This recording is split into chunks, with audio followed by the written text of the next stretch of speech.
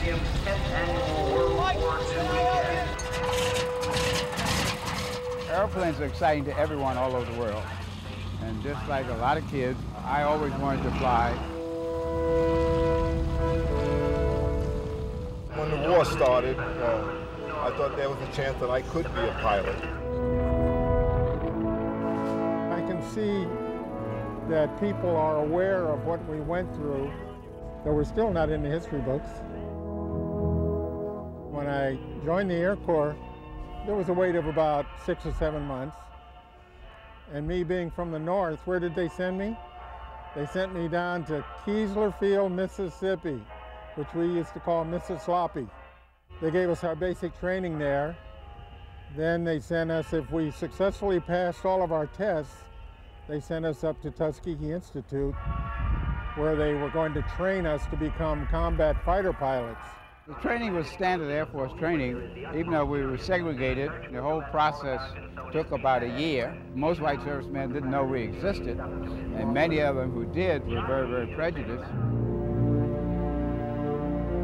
We were just getting ready to go overseas from the port of embarkation in Virginia, and we were in segregated quarters, and we saw these German prisoners marching ahead of us, and we were wondering where they were going.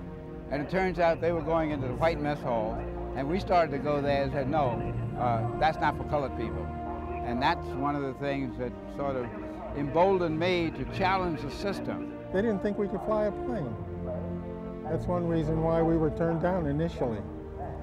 But thank goodness, President Roosevelt and his wife saw the wisdom after she flew with one of our guys, saw the wisdom of giving us an opportunity.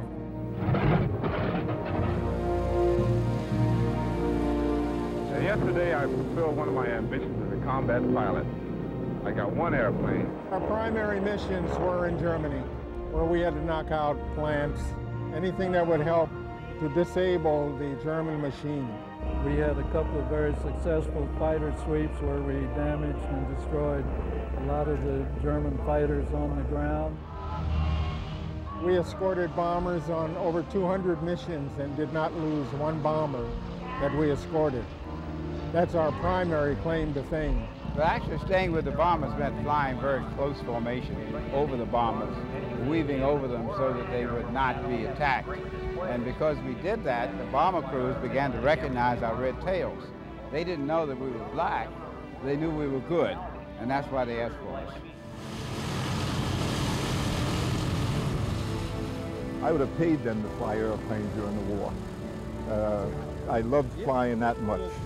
And uh, when you're doing something you love, you don't look at all the extraneous things that happen to you. It was really gratifying to fight for this country, especially when, as I was growing up, it didn't appear to be fighting for me. And someday I hope everyone will learn something about us and appreciate what we've done. Because we did it because we love this country and we were willing to fight and die for it. And a lot of us died for it too.